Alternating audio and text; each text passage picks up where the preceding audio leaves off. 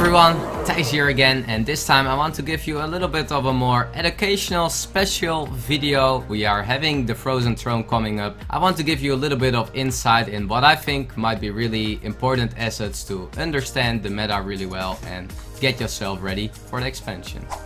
This video is also in collaboration with Pro Guides. They are a site now with a lot of Hearthstone content where you can get great guides and great advices on how you can become a better player and great advice on how to get legend and there is now a free trial around and I will definitely recommend to check it out. It will be here down in the description too where you can check out their site.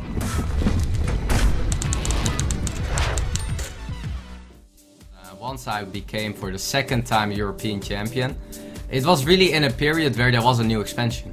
Uh, there was just a new expansion, just two weeks, and I felt this is my season, this is my regionals, where I can become one of the three European champions again. But I came up with my own tempo warrior, I started to play Reno Lock, so I felt really going uh, uh, into a really big edge into the tournament just because my decks felt, it felt just more adapted, more experienced, and I hope that uh, that is something that I can keep continuing with every expansion.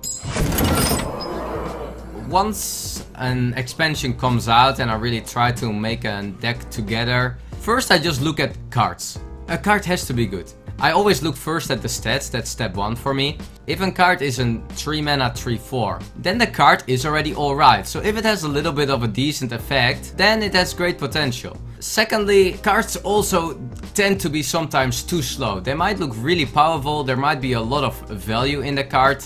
You cannot play all the great value cards. There are a lot of great cards that are at 7, 8, 9 mana.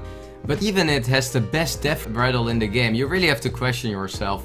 Can I play a 7 mana card that has like a really great death rattle? I mean, you have to play it at turn 7 into a board, then there another board is coming and then your minion has to die. So I always look at what effect is it? Is the battle cry?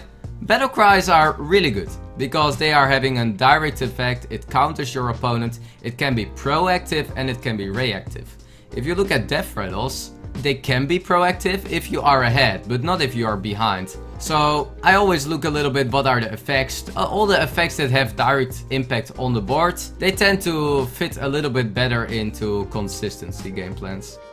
As a third step, I would say you have a deck of 30 cards. And these 30 cards, they should be more than just 30 good cards. They should have some synergy. They should have synergy with each other, synergy as a similar game plan of a defensive game plan, of an offensive game plan.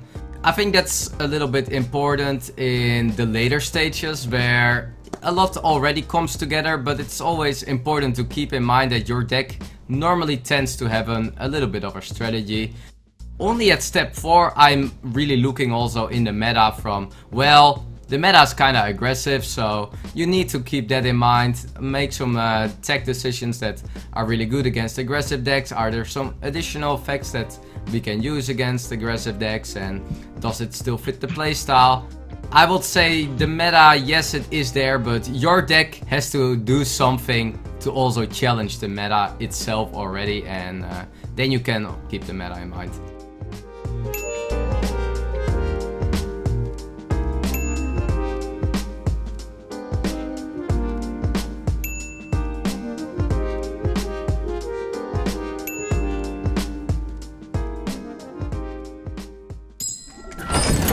Once an expansion comes out, aggressive decks tend to be a little bit more powerful. I'm in charge now. It has two different reasons. A control deck is normally more complicated.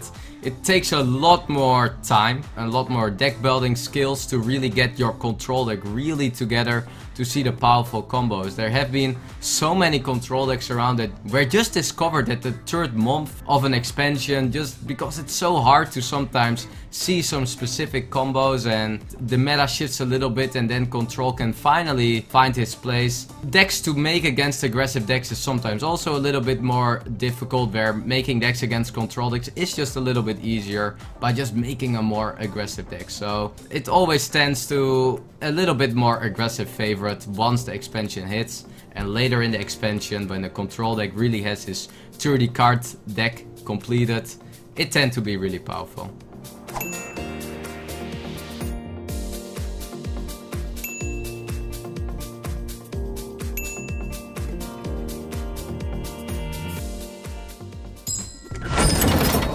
It is really difficult in a new expansion to, in a one week period, to see what is the power level of a deck. You can sometimes build a pretty powerful deck, but is it really like as good as a token shaman? Is it as good as an aggro druid?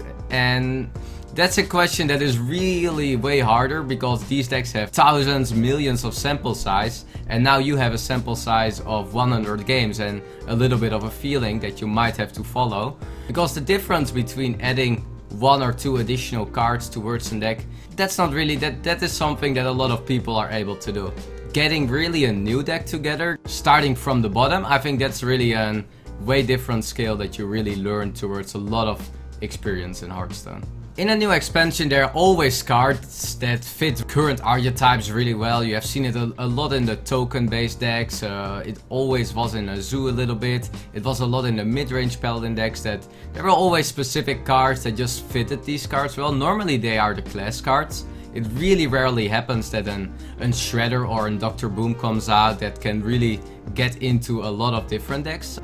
Uh, once a new expansion hit, I always try to be really open-minded uh, in towards the new expansion. There are a lot of new cards coming. There is gonna be, especially from the start on, people gonna try a lot of uh, different cards. So you have to still have the mindset of the old meta a little bit in mind and try to adapt with it towards the new cards. But also, of course, uh, creative deck building is definitely an important skill.